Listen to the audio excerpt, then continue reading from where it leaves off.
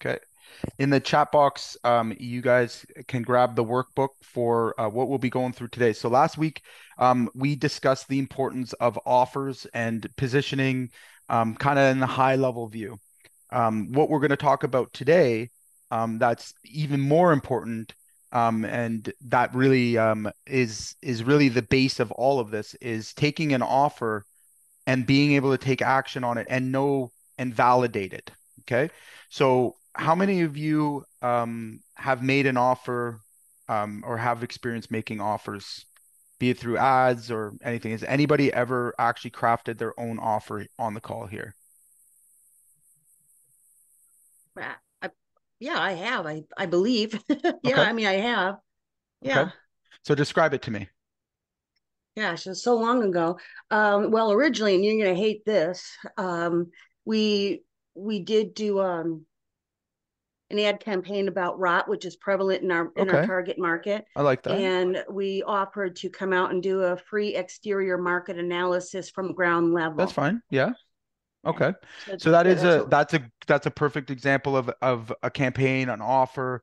All right. Now, what we have to recognize is that, like I was saying last week, um, that offers exist in every aspect of our business. Okay. Our whole business is is built around a core offer. Okay. And a lot of times we misunderstand that mechanism. All right. So the mechanism is your offer can be adjusted to the group that you're targeting. Okay. We can make other types of offers inside of our core offer, right? It's very versatile. But but if you can't clearly like clearly explain what you do and have it be differentiated than what everyone else is offering, you're going to find yourself almost always being compared on price, almost always being you know finding resistance in your sales process and it's very difficult to scale your business. And here's really the best analogy that i can use to explain this all right? We have a blue ocean okay? The blue ocean is where we want to be all right? In the blue ocean that is filled with hungry clients that are looking to be fed all right? A big big crowd of hungry clients that nobody else is feeding all right? On the other side we have the red ocean all right, where very few clients are, and everyone's trying to feed those very few clients. All right. So when we think about our business, the more we can put ourselves into the blue ocean, and and blue oceans exist in every category, every type of business, and it's really coming down to what what are we saying that's getting the attention of our ideal client, and you know, coming back to the core base, a specific problem you solve a specific way for a specific person. Okay. What an offer is not, all right, is services. Anybody can like that is the simplest, most easiest format. It's like, um, and that's going to put you into commodity, right? So if you go out and say, Hey, I'm a general contractor, congratulations, we'll put a tag on you into the red ocean you go. Okay. If you go out and like Patty just just use the example, I'm a rot, you know, I'm a I'm a rot specialist um, that offers services in this metropolitan and you know to get started we we can help you do by doing this evaluation okay? You see how that's dramatically different? And i right? had i had before and after pictures of our findings sure. and i had testimonials in the ad as well. For sure. So everything else is built on top of that including our sales process. So guys that are struggling with sales a lot of times what i find underneath that is that we're trying to sell something first of all at a commodity all right? So um, no matter how hard you try, if you have a Lamborghini type service, all right, and you're only speaking to Honda Civic buyers, your your market doesn't fit. Okay. And until we really recognize what you know what those things are, it's very difficult to grow or scale your business. And adding more marketing or buying a marketing company or trying to pay for leads, all this stuff fails at every level. Okay. As well as the biggest thing that fails, you can't scale. So the business becomes dependent on you and you alone. Okay. And that's what I see all too often. It's what I went through in my experience. And it was like the mystery box that the piece of the puzzle I was just always missing and I couldn't figure out. Right. I'm like, you know, I offer the best, like, I'm doing all this work to make my business really be able to perform. And like, you know, we had the best crews, we had, you know, brand new trucks, but it was my offer to the market. Once I recognized, hey, you know what? If I learned to make better offers and things that you know directly spoke to these type of customers I want to do business with, all of a sudden I'm only attracting these type of customers, right? I'm only getting this type of business. And then from there, it's you know again it's it's more about filtering through what you don't want right so if we're doing high end renovations for high end customers all right and we are only you know we know that we do best work in this particular area all right is it is it worth our while to you know um, do a generalized campaign that attracts you a bunch of low low end tire kickers? Right? Or in your sales process how do you differentiate between what's a good customer and a bad customer? How can you with confidence with certainty say every single time like you know we're hitting our direct customer to know your marketing is actually effective?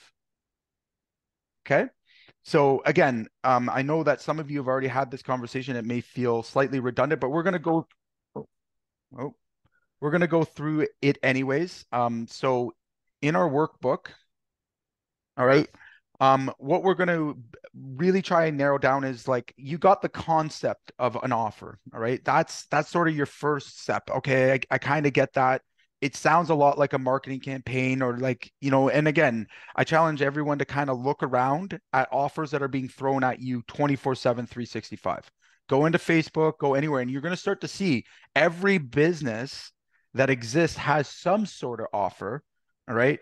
But the clearer you can be and the more specific you can be to the exact person that you're you know trying to speak to the better and better your business becomes okay? You don't even need you know remarkable um, uh, marketing at that point you you can get by with pretty average stuff okay? Um, so let's talk about how we actually build these things all right? We're going to go through the process of actually you know thinking about how we'll put these things into into play. So i use uh, we're gonna we're gonna uh, use the 7p framework all right? And these are all the essential things that uh, you know go into creating a really great offer because it's not just like what you do how you do it like there's other components that come with it right so who here feels they compete on price maybe give me a one in the chat there how many of you guys feel like you're competing on price only no one that's no one will admit it, right? Oh, I do. okay. All right. Appreciate your honesty. Okay.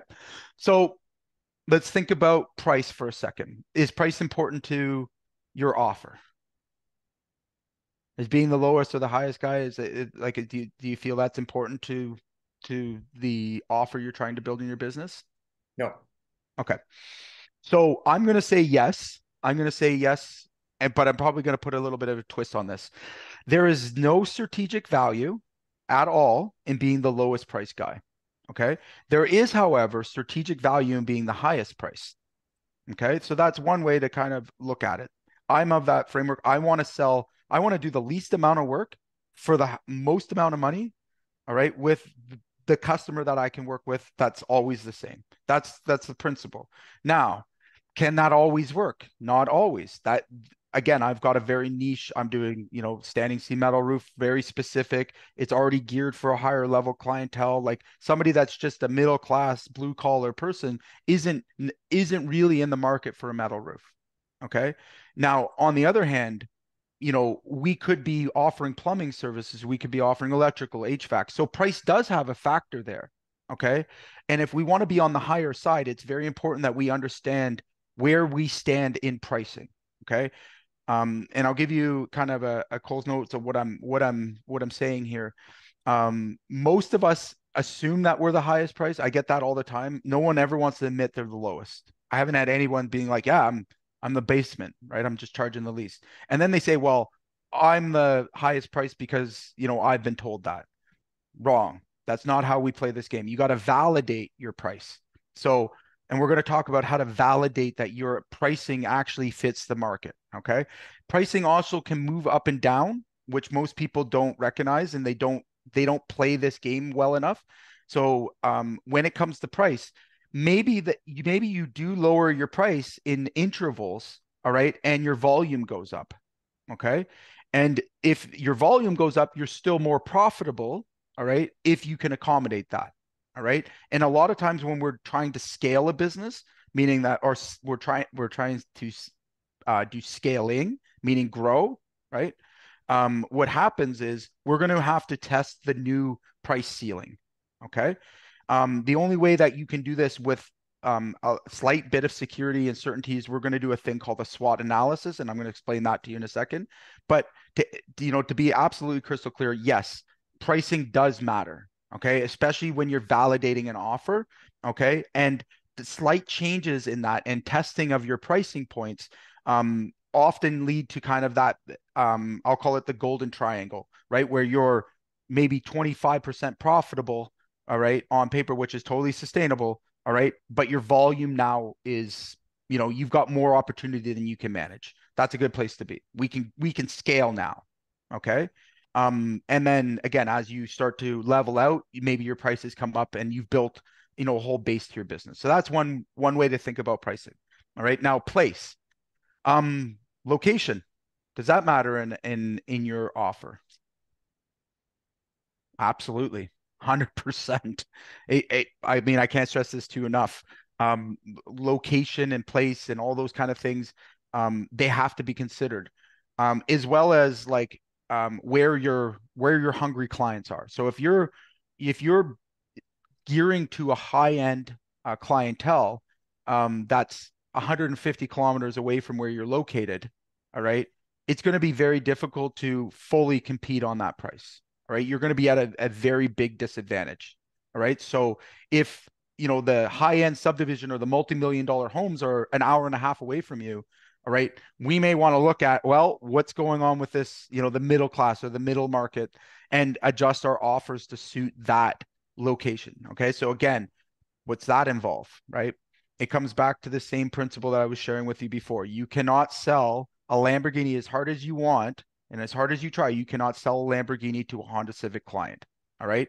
So unless you know for sure that your audience has enough people in it that are looking for Lamborghinis, you're going into a red ocean. You're trying to offer something that's maybe too high quality or over top of what your customer is willing to pay, the location they're at, right? And the next one is again, um, you know, really looking at how we promote our offer, right? So um, how many of you guys would identify yourself still as really great craftsmen or tradesmen? Yeah. Okay. I've I've sort of lost that identity a bit. Trevor, would you say you're still like you, you know identify primarily as a as a, a technician? Yes, I do. Okay. And that's absolutely fine. All right. Um, the problem though, that's when we're thinking about these offers and how to build them and how to structure them, okay, um, is how we promote ourselves.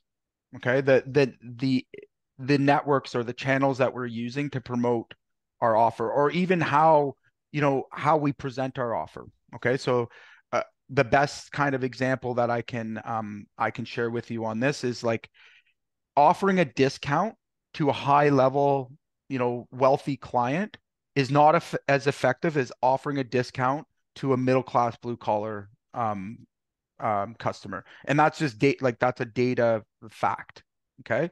Where those offers do best all right is genuinely in that middle middle class market okay? Um now that's not to say that they don't have the same expectations or like you can't you can't deliver the same type of service but it's simply how our bear like it's our point of entry okay? Um as well as uh, i'll say you know kind of rolling into this next part of offer like people. Um and nick we you and i were talking about this last night but um there's definitely um in in ontario at least we have like cultural differences okay? So when we think about people all right the type of person we're selling to that doesn't just include demographics such as like you know age all that stuff it can be cultural as well all right? So um you know without uh, without getting too deep into this particular topic you know i for example have a very hard time doing business with any indian cultured people and it's not because they don't have affluential people or anything like that. It's literally um, just a cultural difference right? So we know whenever we go to the city of brampton all right, which we don't, um, that we have a very, very low closing margin, no matter what we do. Okay, no matter how hard we try, no matter how much we change. So if I know that, why would I why would I even accept estimates in that location after, you know, a certain point of time? If you knew you were losing, you know, you're you were landing 1 in 50 versus, you know, being 30 kilometers away where I land, you know, 25 and 50. Well, that's obviously not a it, it's a people person problem, right? It means that our offer doesn't align with their culture. And that can happen. And in other other a ton of other examples, I'm just using that one because it was top of mind. But that's a that's a good example of what we need to think about when we're generating a new offer. Anybody got any questions so far? No? Yeah, I think uh can you hear me? I think back to the question, just you still feel yourself like you're still a good tradesman. Mm-hmm. I think it's more, yeah, I can still do it. Right. But I still, like when I talk to guys about building a bid or a quote, mm-hmm. I could do it in this speed at this level of perfection, right? Is mm-hmm. that's what I felt when you asked that question. Yeah. So, and here's the thing though, like when we, like, in order to get a good offer, we have to, like, it's not enough to say I'm a good tradesman. I'm really good at what I do. It's not enough to say, um, for example, I do high quality work. Nobody can do, no, no one's better than me at the, the quality. And we, as technicians, we send to f- really focus on the technical, how, like, how we can technically do the job and I've talked to you guys, especially especially electricians. I'll just call you guys out. Like you're you're all about a technical sale, right? You want to prove to your customer your worth by like your knowledge and like the explanation of how you do your service. But does that fit an offer that scales? The answer is no. Right? Because it doesn't take it's not good it's not enough just to be good at what you do. All right? When you want to scale a business, it's enough to get by, it's enough to get referrals and like live off you know that. But in terms to really have a an offer that scales into a business that can operate without you like no. You can't you can't just say that you do quality work or that you're a skilled technician or like we're the we're the best. It doesn't it yeah. doesn't work in any market. I'd always that, said like back when i was on the tools and in the van it was mm-hmm. you know how do i leave the client feeling? Like right like that's a good holy fuck. I, I trust that guy with my baby. Like right. you know, and that emotional connection. And I think we've lost that in the last few years. I can't sure. I can't agree with you more. Um I, I totally 100% wholeheartedly agree with that. And people are craving it, right? Um mm-hmm. and then we're fighting the other side of it as well is like people um the way that our society's moving we move faster right so like we have less of a time we're more distracted right there's more you know you know go back 15 20 years ago even five years ago how how often were we being hit with offers? Like i'll say a fraction of what we are being hit with now. You open up your phone you you know you watch tiktoks you watch any of this it's subliminally built into the stuff we're consuming right? You're being hit with them probably 20 to 30 times an hour right? Somebody offering you pitching you something. So what happens to us is that we become resistant right so, you know, again, in 1950, just being a good, you know, a, a, really credible um, home builder could have, you know, been enough to be, you know, to grow and scale a business. All right. But nowadays it doesn't. Okay. It just doesn't work. We have to be um, a lot more um, aware of what what actually resonates with our with our clients and with our audience. So maybe that could be, I don't know, is that something that could be somehow built into my offer? Like 100 percent. Hundred percent, but you have to again. This is what we call, what we say by crafting the offer, right? So, like, until you really think about all of the aspects that go into it, all right, because it's not just like a lot of people think that, and and I see this a lot. Like they, if they're even doing it at all, most people will hire a, a marketing agency. Okay, that mm-hmm. marketing agency has an offer that they made up okay knowing you know how people think and everything else and how they convert they'll make an offer up and then put it on you okay? The problem with okay. that though is it's like wearing somebody else's underwear okay? Mm. the offer doesn't really fit what it is that you deliver okay? It doesn't really fit the personality of your business and it's generic that it'll never scale all right? Now i promise you this is not by mistake. The reason why they're doing that is like if I could money. take a yeah yeah exactly. If I could take this one offer, well now I can put this same thing on that moderate like you know mediocrely performs on every single company that you know I can go get 100 electricians, run the same offer, and, and we're done. Easy, right? Hmm. Now, where that fails is in scale, right? So when you need to stand out and, like, for example, put you up against 10 other electricians and you come out dominant nine or eight times out of 10, all right, that's a scalable business, all right, from a from a marketing offer perspective. If you get put up against them and you're coming out two or one, all right you can't scale that business. So you're to sp- you're to spend a lot of time stuck in that in that place. And then it doesn't matter your platforms or anything else like that. You will always it's the way that you communicate your message. It's the way that your brand comes across to your your clientele. Does that make sense? Sure. Right and yeah those good like those good people that we align with mm-hmm. the guys gel with them right it's that's right easy it's fucking no resistance it's that's just, right it's an, it's an enjoyable experience from the phone call to the invoice. Like it's just awesome.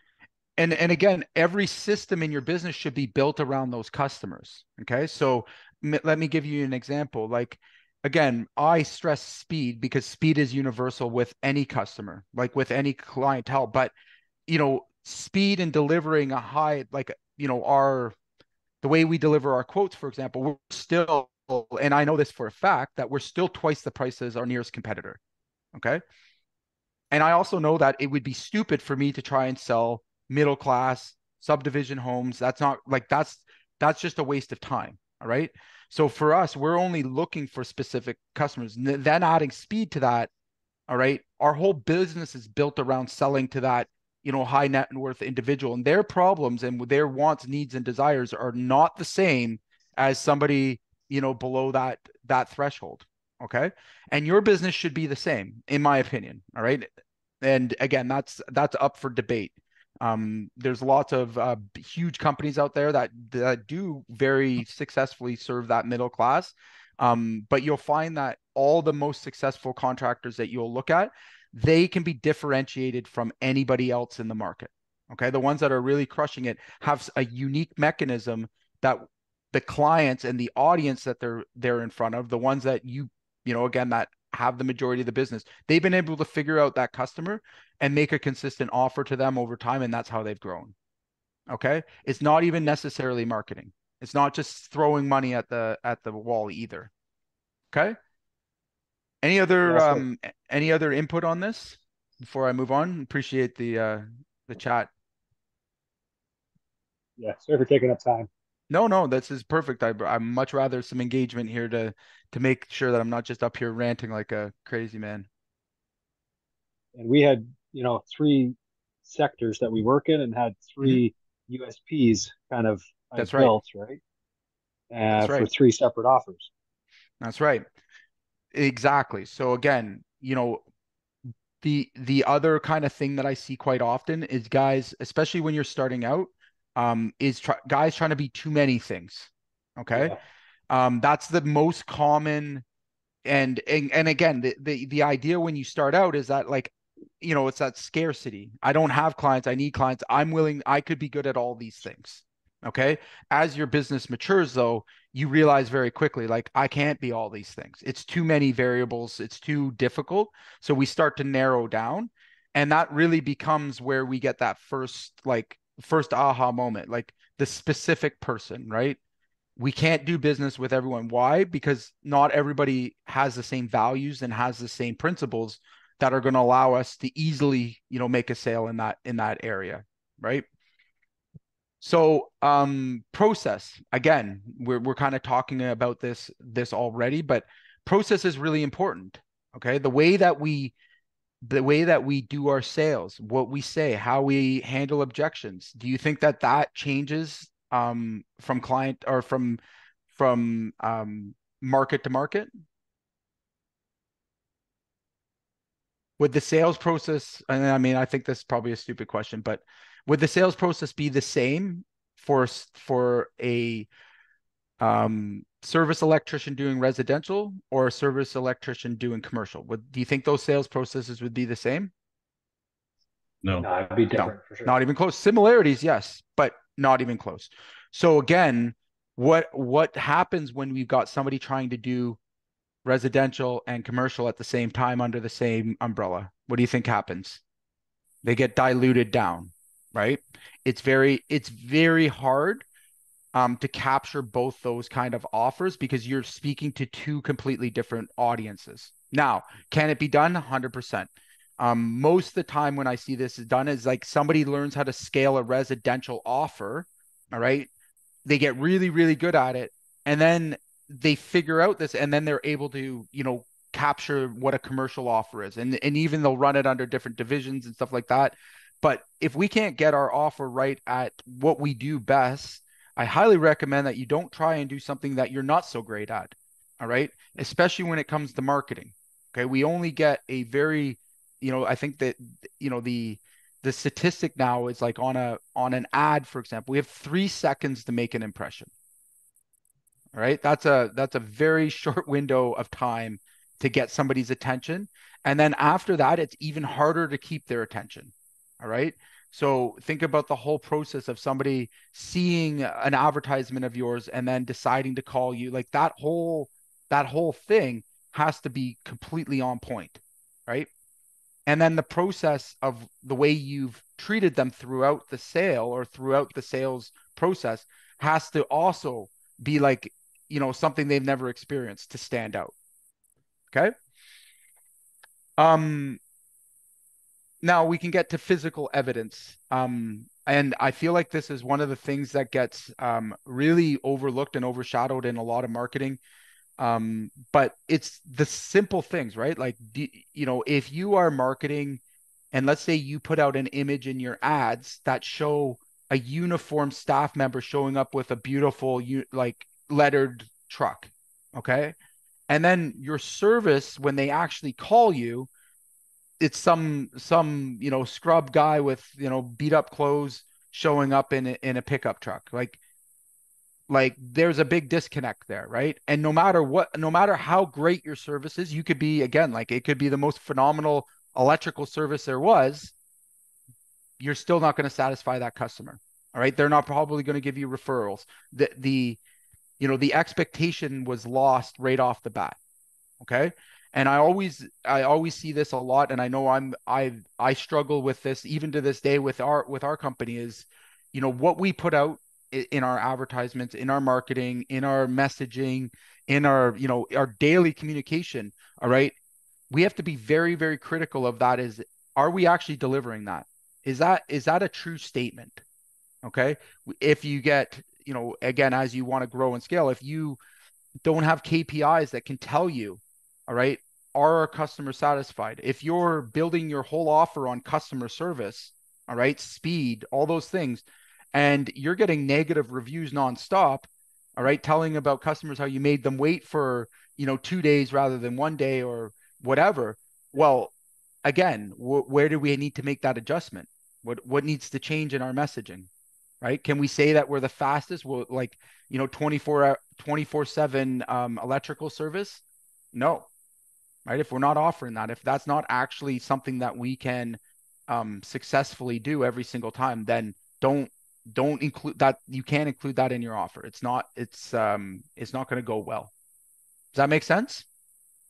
Hey Jay, uh, so I just got my brand new Transit. Do you suggest that I not put lettering on it if I got my guys driving their beat up van and uh, trucks and? No, I'm not. I'm not suggesting that. Um, again, but you would be very cautious of what you say. For example, like again, if you tell if you're putting a image out, all right, an image is a, is a good one or a copy, that's what goes into an ad, all right, and you're saying, you know, all in-house staff, okay, there's a market for that. There's people that believe that that is they're going to get the best service from that, right? You're showing a professional with a full uniform and all that. Okay, you're you're going to attract a customer that's expecting those things. Okay if that's not what you actually deliver all right then you're you're going to you're going to consistently have problems. You're not going to be able to scale that offer. And it's very simple principle right? Like you're not delivering what you're promising right? Even if it's a minor thing it's a it's an image thing okay? If you yeah so like i don't i recommend you get your trucks lettered. I, I recommend all that right? But again, you may have to um, communicate in your sales process also that you use subcontractors, right? You might explain how you manage subcontractors, right? That would become part of your sales process so that no one feels let down at any point during this during the you know the the sale. Mm. That makes sense. So Yeah, yeah, again, yeah, it like because yeah. you got to get down to like like to hear that that they get you know oh you're using subs so it's like oh you don't Yeah. even know these guys well they've been working for me for like 10 years No, no. So, so I wouldn't, I wouldn't even like everyone will say that, right? So if I were, if I were explaining something, and we do, right? Um, is we lean on the way we manage our our teams, right? We manage, we lean on the fact that they have peace of mind dealing with our company, all right, and that we handle everything from you know A to A to Z, and they're guaranteed the, the outcome, right? We show them our CompanyCam, like there's there's ways that you can present that that actually, you know, again, no one really cares right? As long as you have good management and you know it doesn't take away from the job that they're getting. So most general contractors use subs, right? Like eh, the subs are used throughout. It's just a matter of how you're presenting that and explaining it in your sales process. So again, this is how like tied into an offer it is. It's okay to have that you do use subcontractors. It's absolutely fine, Mhm. right? Provided they meet meet the standard that you've set with the client. And that's all messaging, right? That's all communication. That's everything that you, that we're talking about here because until you get the offer right, all right? So you thought about just what I talked about. Yeah, I use subs. Okay, great. Does that change the way that we write our our sales scripts? Does that change the way that we, you know, what ads we approve? Does that change the, you know, the image that we're trying to create for our for our our clients? Absolutely. Does that maybe even change the client that we're going to do business with? For sure. All right. If I'm using a lot of subs and I can do higher volume, I might be looking at bigger homes. I might be looking at a place where that's not such a big deal. Right. I might be looking at commercial. I might be looking at if that's the the source that I'm using. Or again, I'm going to know to invest more in my management side. I have to have somebody in between the sub and the and the owner. Like you're a mediator, right? That's your job is to make everything move smoothly. Okay. Mhm. So you would be more present on that end. And again, that's going to give them, you know, that for most people, that's that's going to be satisfying enough.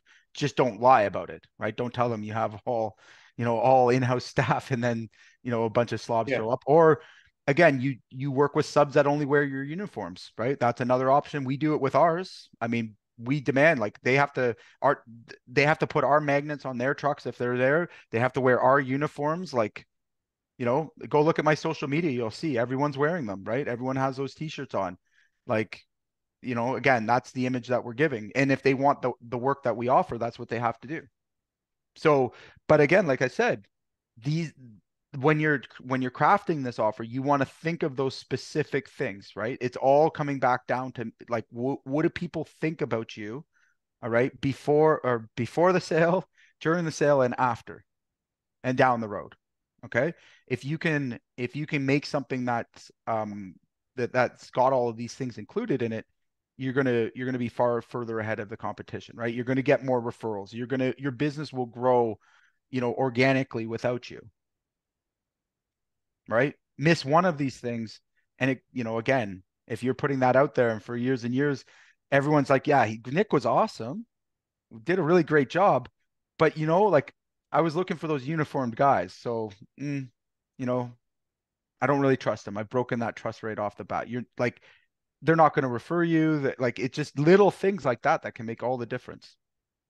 yeah yeah because i was just thinking about that you know trying to do a video and just getting shirts with the logo mm-hmm. and everything and if they just show up with like a budweiser shirt that looks like yeah So then you so then you take it upon yourself if you want to put out that image, right? And you want to promote that. And by the way, like that is very attractive to a higher end clientele. That's what they want, right? Like think about their fears and things that are are affect, like affecting their decision making, all right? The the what the reason they would go with somebody like that is it shows establishment, right? It it tells you it, it shows that you have control and that you know you have culture in your business. Like those things are attractive. They all that leads to peace of mind. They just want to get their job done, right? They want to get their problem solved. Okay? So if if you know that that resonates with your your audience, cool.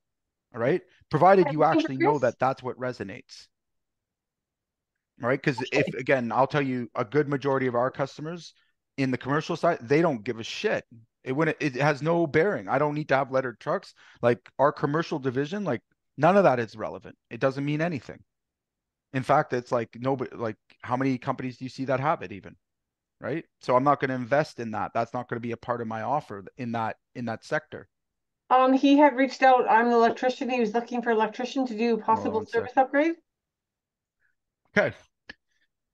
So, um, again, in terms of validating some of these things, that's the, I find that that's kind of the the hardest part is like you have a business that's maybe growing, all right? You think your offer is good, but like you're not really sure, right? Or you want to offer a new service, or you want to, you know, expand your business, or you want to all of this stuff and, and i'm going to tell you like this is a secret sauce that i've i've used to keep my business ahead um is i regularly regularly swot analysis Eh, like again especially with a new offer.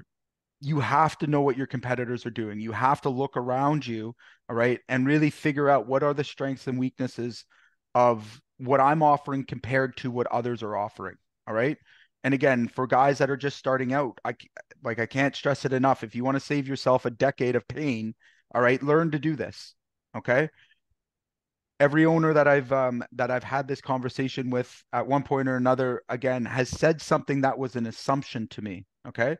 A lot of times i hear the statement i already know i'm the highest price okay prove it. Where's your data? Show me your swot analysis. Prove it. Tell me that you are.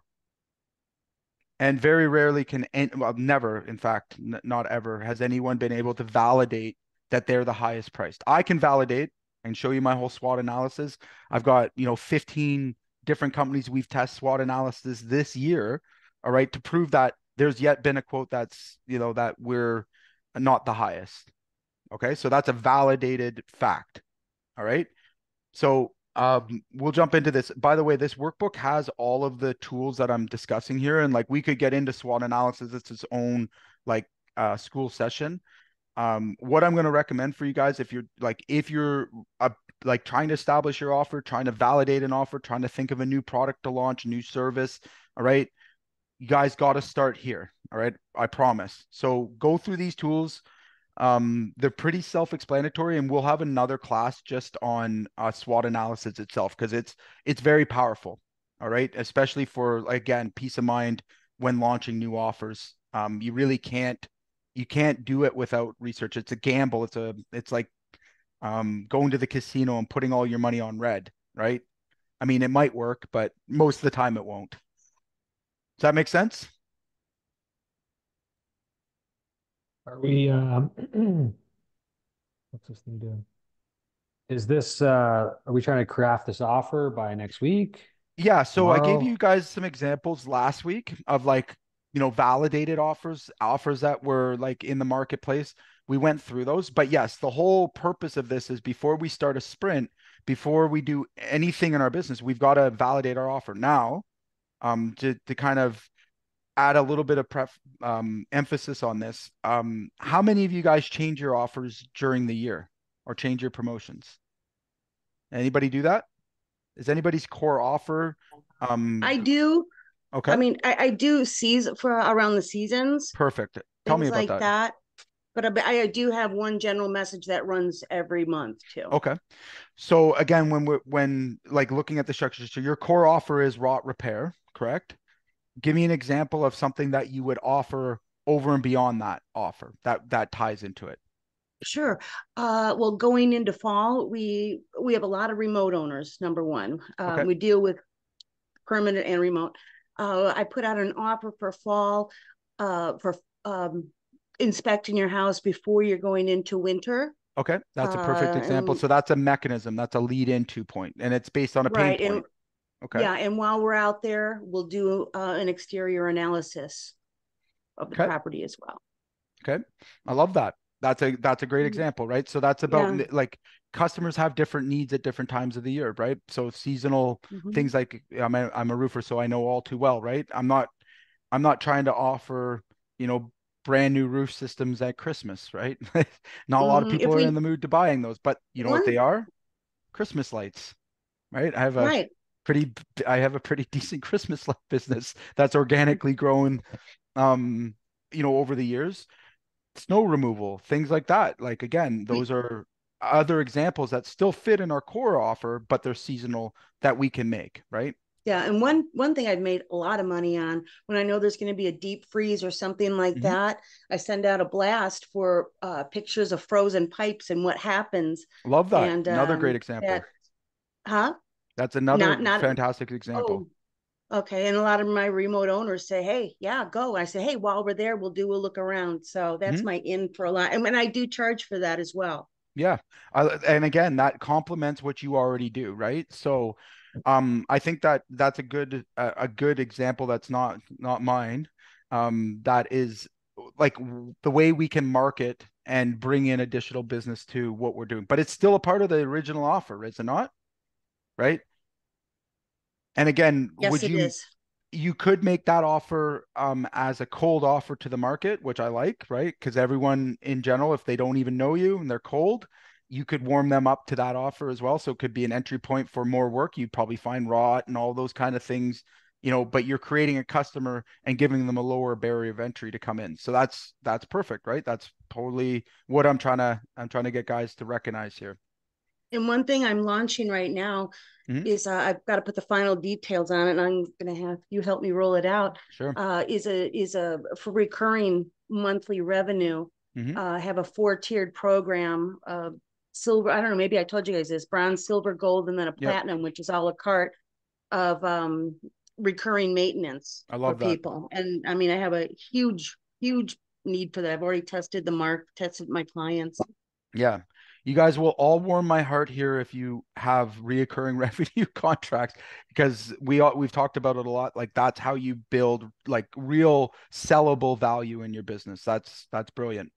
So again, a great example of an offer, right? And as we validate these things, as we have these ideas, all right, because we all have ideas. Um, if you don't, I've given you resources to the steal ideas, all right. But how do we actually validate them and not spend a bunch of money and time, you know, running them to clients that it doesn't it doesn't resonate with?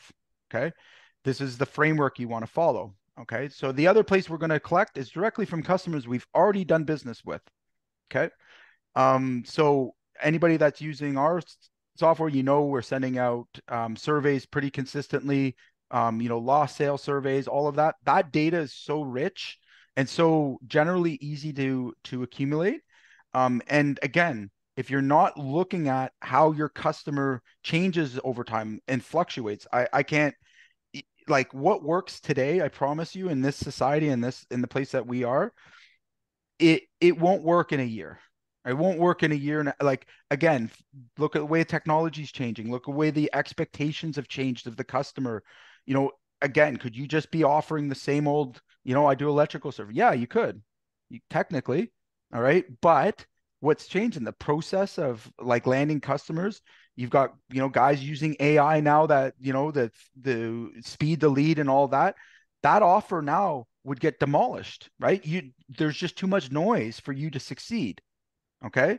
So think about this this way. Like, how do you know when a market's changing? How do you know and actually see a trend start to develop in your business? Has anyone here seen a, a trend in their business and was able to cap- capture it and be, you know, ahead of the game with an offer?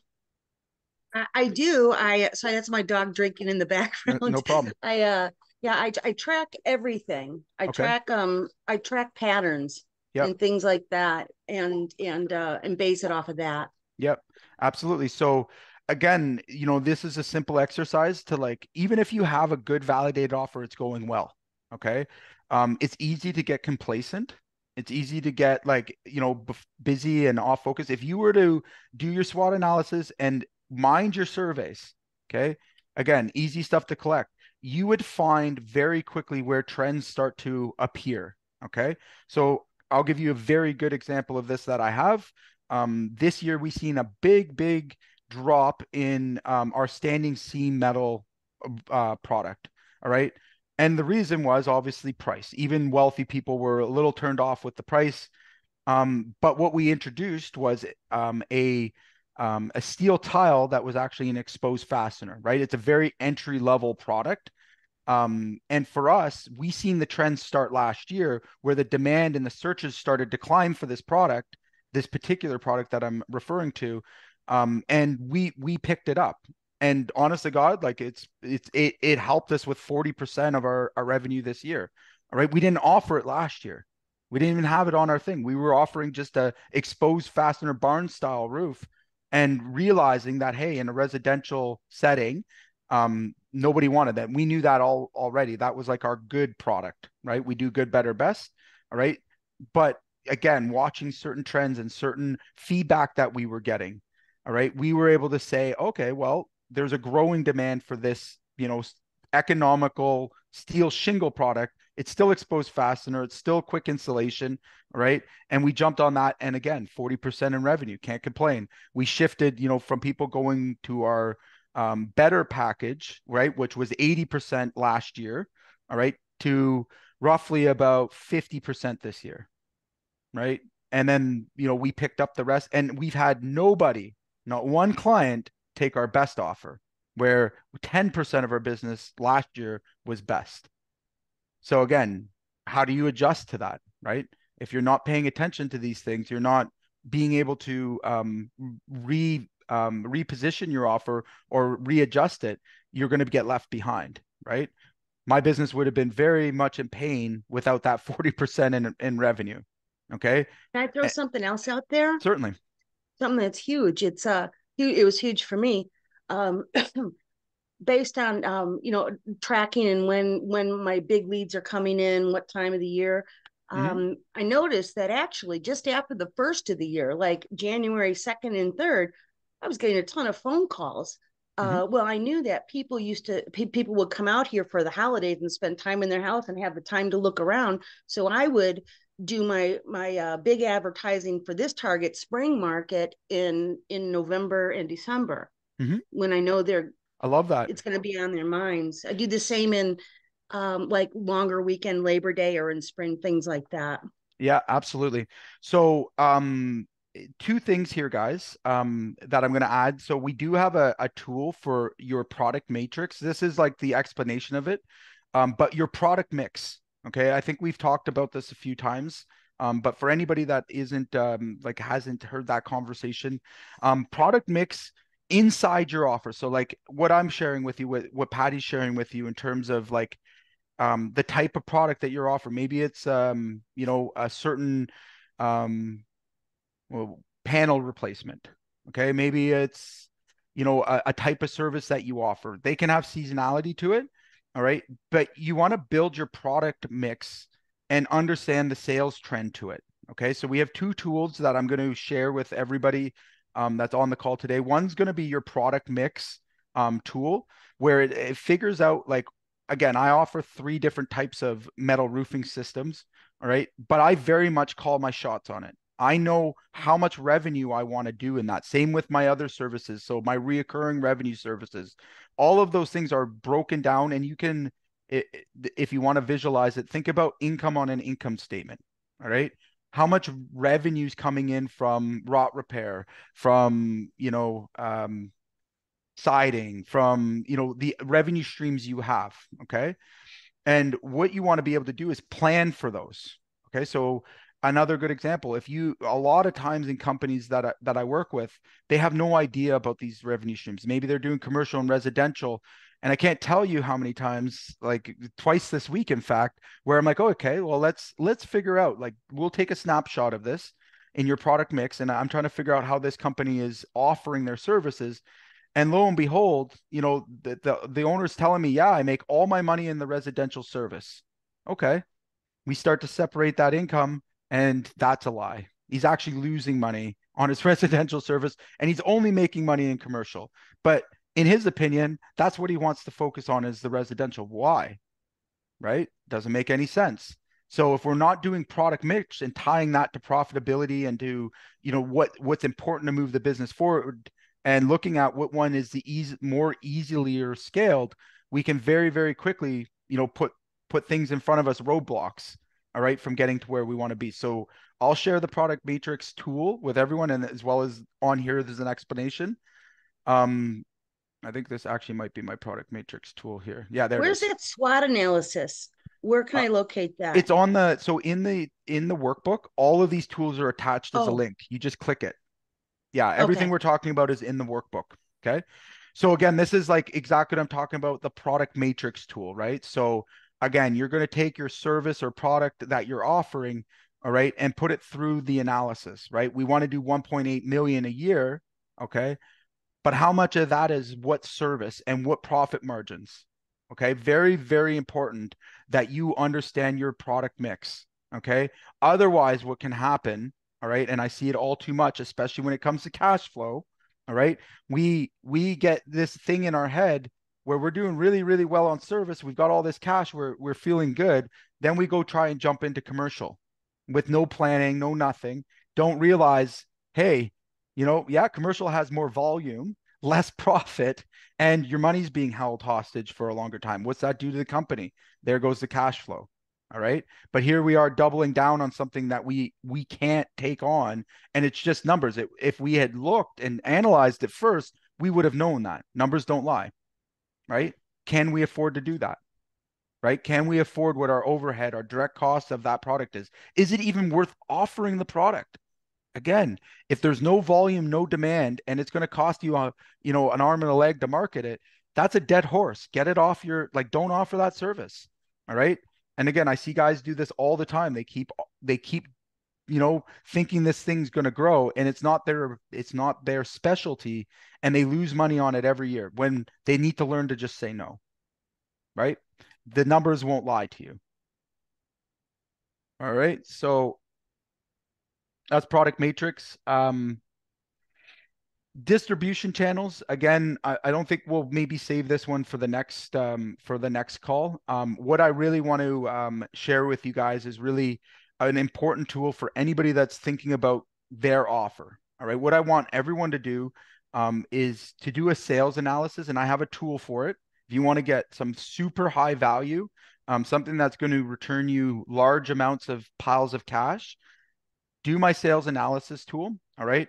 Um, what it's going to do is it's going to look at the last five years of your business, and we're going to very simply take what the information out of your QuickBooks, right? And it, all it looks at is your revenue, month by month by month.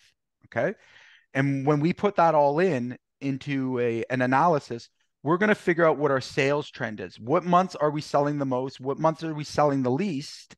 Okay, and that helps us to really craft our offer. Okay, again, everybody has some sort of seasonality to their business. And I'll tell you that the majority of contractors that I've worked with, um, they run into the same brick wall every single year and they just assume that that's the way it is. Okay. What's the point in doing all this work, getting an offer together, thinking about your marketing, doing all that, and then never really analyzing when's the right time to offer this? Okay.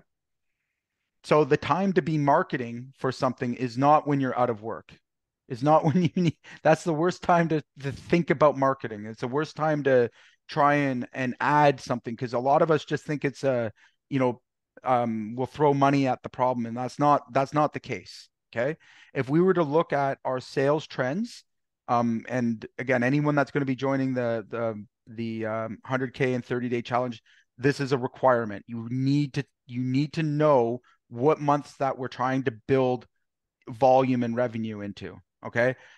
Don't be trying to launch a new offer in a time when you, you know, again, statistically are the busiest. Don't do that. That's stupid. Okay. That's only going to, that's only going to create a crash in your business. All right. When we launch offers, timing of that offer is just as important as all the other elements that I've talked to you about today. Okay.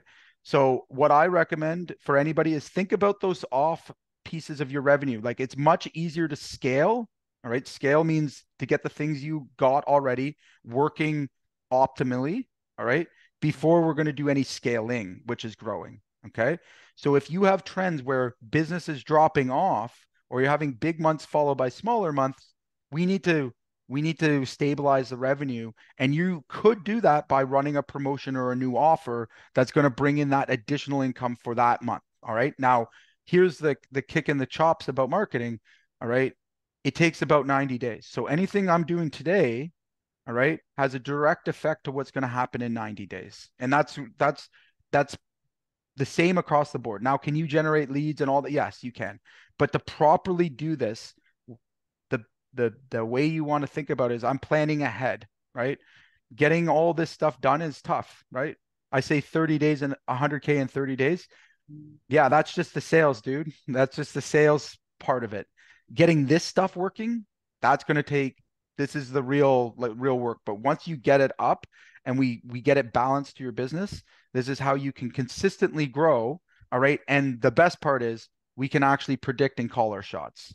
All right? We can say, "Hey, my goal is to increase this product mix, you know, by 20%." All right? And then we can validate all of that. How good would that feel, right? Who here really wants to be able to call their shot? Would that be valuable to anybody? Yep. Yeah. All right. Who here like again wants to get off the revenue roller coaster?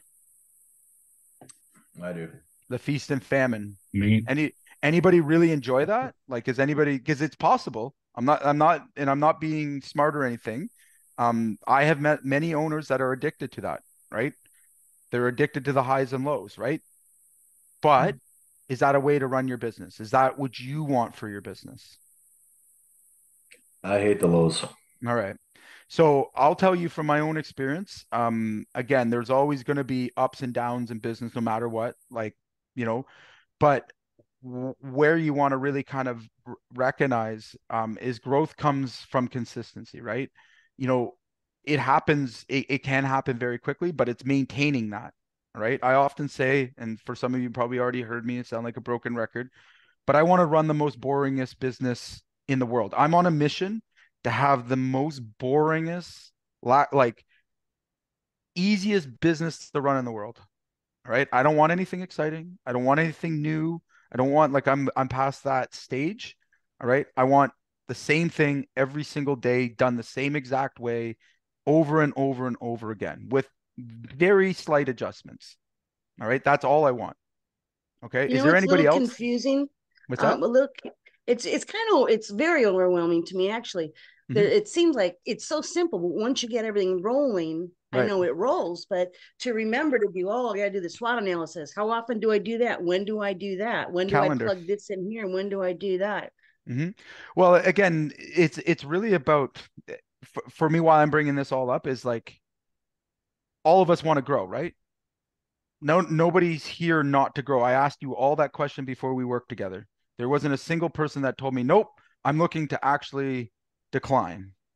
Okay, so in order to have proper growth, to have stable growth, to have you know manageable and uh, you know profitable growth, these are the things that it requires. Now, do you have to do it? You know, maybe twice a year. All right, we're going to do it. Can it be delegated? I'm giving you how to delegate. Here's the tool. Hand it off, right? Have your eh, your VA like have other people doing it, but make it a part of your culture that we're checking for these things. I do it in my business. Again, do you think that I'm on the phone calling people up to come and give me a quote on my roof? You think that's me? No, I don't have time for that. All right. Am I am I out in the field getting other people's quotes and bringing them in in our team? Like, I'm not doing any of that. All right. My job is to facilitate it though. It goes on the calendar. All right. I make it clear that it's being done. I make sure that it, it got done. And and again, you know, these kind of high level things, I am making the calls on the offers, right? I am the final say on whether we run a, a certain product mix or not. Right. So again, manageable. Mm, yeah, this would be tough all on your own. What I'm trying to teach you guys to do is like there's there's easy ways and hard ways to do everything, right? And what seems easy, like, hey, I'm just going to test this offer, right? And I, how many of you maybe done that and gotten lucky? I know I have. I've put offers out there that, like my Christmas light one, I shared that story with you. I just threw it out there and it grew. Don't know why, got lucky with it, right? But that's rare. That doesn't happen. And again, there was lots of problems with that offer in delivering it, right? Most people try it and it fails and then they give up and they get scared of making adjustments or changes to the offer And again, that's not how you're going to get growth, right? We should always be trying to improve the thing that brings in all of the money. All right. It's not your marketing. Again, I'm going to tell you that with the, the, the strongest of conviction. It's not your marketing. Anything that is irresistible or like is a no brainer in a market is going to grow no matter what. Right. If you can make your offer the same and you think about all the mechanisms, all the stuff that goes into your business, it's all a off. That is what you like. That's that's what's going to get you millions of dollars or not. Right? Okay. Make sense? You got one minute, you got 30 seconds here? I know you Yeah. got another me- meeting here, it shows. Um, can you open the chat and just read my little, I don't know, that's on my road to some kind of offer. Okay. Electric Elite provides lightning fast, responsive, and reliable service you can count on. Need service now? No worries. I love that. So again, 24 7, 365 call us. Uh, Yeah. So again, you're going to appeal on your service thing. Um, anybody that's seeing that that has an emergency right now is going to pick up the phone and call you, right? If that's the outcome and that's what I'm reading into here, perfect. So that would be for, yeah, responsive emergency Right. service. Now, are those the ideal clients? I mean, you can charge them more, but generally it's a person that's let their property fall, Mhm. doesn't maintain, and is a scabby client. Not well, that's an time. assumption though. So Okay, I need you Yeah. to I need you to show me your data. Don't have any. Well, there you go. So you just made an assumption. So this is what I mean about missing the blue ocean by, you know, again, making assumptions. And we all can make assumptions. Like the thing about marketing in your offer is that like without the validation part, you guys are basically going to the casino and betting on red. And it's it, and it, it's harder and harder to get offers that resonate with your with your customer. Okay. You may figure out like, hey, you know what? We run this offer to validate it. Yeah, the customer base is, the searches are there, everything's there. Okay. Um, but yeah, you know what? It does lead to scuzzier customers. Okay. How do I make money from this? Up goes my service call fee. Right. I'm going to make money off just going out there to the scuzzy house that they need the emergency service. My hourly rate's going to be ridiculous and I'm going to offer financing. Boom, you're done. Right. Like, Yeah. you see what I'm saying? So, we need to make adjustments but like each step as you break it down and you don't like this isn't something you have to do every single day of your life. Like this is something we do a couple times a year to make Mhm. sure that we are optimizing our m- biggest asset which is the business. The business is the business is the offer. That's the thing right? You, like any piece of that comes apart. You also want to be able to diagnose where the problem is. If you start getting bad reviews out of nowhere how easy is it to say oh well it's the technician's fault guy must be doing a shit job. Okay. Was he trained Right. adequately? Was he tra- like again, you should be going through a checklist, right? Now we're going to go back. Did something change in my messaging? Here we go. Right? Like it's again, you're building that infrastructure for yourself and when you go through this process you realize like this just saved me decades, literally, right? Cuz how many guys and when you start to pay attention it's just like when you get a new car and all of a sudden you see your new car everywhere right? Mm. You're like, fuck, I this car was unique when I bought it. Now everyone has one, right? Same effect is going to happen when you with what I'm bringing up. You're going to start looking at other people's offers and being like, wow, that's identical to the other fucking guy that I've seen three or four times, right? What's what's the problem with that? Right? Is lost in the sea? Right. Well, and it, it's not differentiated. So again, he's the guy that gets a call two out of ten times, right? To the the customer that's looking for low budget, cheap services. Whereas yours might speak specifically to, you know, with some adjustment to that, maybe we can make that speak to a higher end clientele, right? You know, making Yeah. sure that the upfront service fee is is is showing. Like, you, there's little things you can do to, that will completely change the audience. Three words can change your entire audience and the people that respond to your ad or to your to your offer right a lot of our like good commercial service clients, Mhm. like they pay, they don't ask twice. It's just get it done, right? right And that's where like this, I want this note to go towards is, you know, high paying, value the responsiveness, Right. don't mind paying, come here, fix this now. right so again there's a number of ways and we won't get like into all of it but like validate it first like is there enough volume of those customers right what would we need to hit to make this really make sense All right. And then you work backwards, right? Like what kind of sales process do I need to offer? What kind of um, you know, what's their expectations? Um, you know, the other thing would be the image that you share with them. Are you going to be sharing a residential like house? No, you're going to be vividly showing a commercial property. Um, ta- you know, again, maybe your social media tells the story of how you help the commercial like owner, right? You've got commercial property owners used as the example, business names versus like, you know, individuals giving you reviews. Like all of that shit is like very quickly our brains like we look at things and just I challenge you all like start looking at the offers that are being made to you cons- constantly every day all day right everywhere you go everywhere you look there's an offer there okay if you open up your phone use social media like people are making offers to you nonstop okay I really also, break them I also down go on, Yeah. well, I also go on neighborhood quickly, uh, neighborhood Facebook groups and ask what their needs are or town, you know, kind Mm-hmm. love of that do something like that just for everybody. It's been, it's been huge. Yeah, no, and I mean that's one of my top like if like again for generating um business, but again, you're going to know about that clientele in there, right? They're community based. Are you going to get lots of referrals? Oh hell yeah, right? Are you going to get some of those scuzzier lower end people? Of course, right? But we got to be able to screen them out. So again, when we start to look at like our our inputs, right? And I feel like a lot of people get you know lose a lot of um, opportunity because the input has to match the offer as well right so if we're pulling leads from google i'll tell you right now that's not the same person you're going to pull from facebook totally different mindsets right In my experience. Yep, 100% different. One is researching the, because they're in a community platform and they were, you know, entertaining themselves and you interrupted that. right? So like you're the you're going to get a lot more, but they're going to be of lower quality, right? However, when you go to Google, higher intent, but if your offer hasn't stood out to them and they're ready to buy now, problem aware, solution aware, all right, you and you don't stand out, then you're just you're going to find yourself being used for price right? Especially in that in that condition. You have three seconds to make an impression. If the three top ads that are running all look the same sound the same they're going to close their eyes pick the guy that they want at that moment.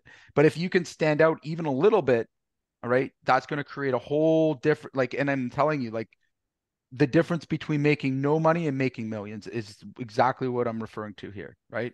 Know your person know your avatar like test your offer and again make those small adjustments and always be able to like maintain it right? Test it validate it. And again you'll see like that's there's nothing that's a hundred thousand dollar an hour job i'm going to tell you right now. That's like you couldn't spend your time doing anything more valuable to your business to everything to your own like mental health right? Because who likes to sit at in, in bed at night and go fuck I hope I have work next week, next month, next year, right? I hope I like I hope that I'm going to grow. I hope that I'm going to have enough to pay my bills. I hope you don't have to hope. We can plan, right? You can like it's just numbers and data. Completely off topic and I've stolen most of this meeting, but Mhm. um, if you had limited time resources like me Mhm. and you wanted to do outreach to like in-person outreach, would you do cha- like a chamber BNI type thing or a direct contractor walk in the front door? Honestly, like how I do mine, um so cold email, cheapest, fastest way to do it, right? So reaching out to them to warm them up. Um caller, so SDR, like cold calls to to get in the door. My my go-to, my most successful one is after you've done those two things, um actual um expedited mail with uh, like a gift in it. All right. So once you've made contacts and you like I use the foot, I I I think I've shared it with you guys a few times. I'll share you, I'll post it too. I use a foot, like it's a sucker, it's a maple sucker and I send it out with uh, like I was just trying to get my foot in the door, but I actually put it in like registered mail, and I send them send them out. It's like four or five bucks a piece, but I know it's going directly to the owner of that company that I'm trying to I'm trying to contact. Right? It gets past everybody else, all the gatekeepers, and I mean it just fucking works, right? So my ROI is like extreme. But if they don't have any information about you prior to that, because what will happen is what they're going to Google search you. They'll see you pop up in their emails. Like you have to do those other things to warm them up. And again, validate that those are because that can get really, really expensive. if you're trying to just send them to a bunch of randos. That's how I would do it. That's the fastest, like quickest way not, to do it. Not just walking in, shaking hands, or meeting at a meeting at a chamber thing. Chambers like, chambers not bad but you're again it, it, it all depends on your intent right? Like i'm i'm trying to do like three to four million dollars worth of business like every single year with you know a certain brand of customers. I don't have time for chamber meetings. I don't and i don't have the energy for it either. And what i find most time is you're getting solicited my experience anyways you're getting solicited more. Is it good? Yeah it can help. But like i'd rather just spend my money on getting through the door and like directly into the hands of the person i'm trying to do business with money and me time. Right.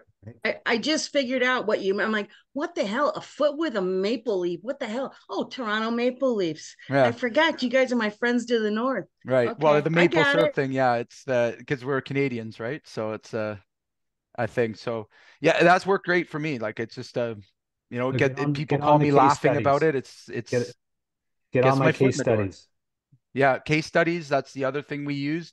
But all of that stuff, a lot of times, what we're doing is like your audience is seeing it. All right. On average, it takes nine times seeing your brand, all right, before anyone will ever recognize you as a brand. Okay. So nine touches have to be done. Now, again, if I'm going to spend 25 grand on a on a mail um a mailer, which it will cost me every year, all right? If I'm going to spend 25k for that for mail that's that's a shot in the dark no big deal. But i want to make sure that i'm supporting that. And like again i'm re re-engaging the audience and i use all those other methods as well right? Now they may produce one or two or three percent but you know 50% of the leads come from that one campaign all right? If i didn't do the things before it though it'd probably only be 25% okay? Same thing like when you're running um, ads campaigns for example. If you're not running your social media organic your ads are going to fail uh, most of the time, right? Your ad cost is going to be very, very high if you're not present on social media. Because what do people do? They check you out, right? They look at your reviews. They go on your social media. They see if you're a legitimate company. Like all of those things matter, right? So for me, there's no one like one method beats all. It's really a matter of, you know, combining those things, starting, you know, with something that can be repeatable easily. Like you going in and knocking doors and meeting with owners that involves you, right? Hard yeah. to scale that. Right? Fair. Like when you're when you're when you want to go golfing, who's knocking on doors? True. Right? So yeah, just just your approach. We can talk a lot about that. But anyways, guys, I am way over time here. Um hope everyone got some value from today and we'll uh we'll talk soon. Thank you, Jay. Yep. Thanks, Jay. Ben. Thanks, guys. Bye.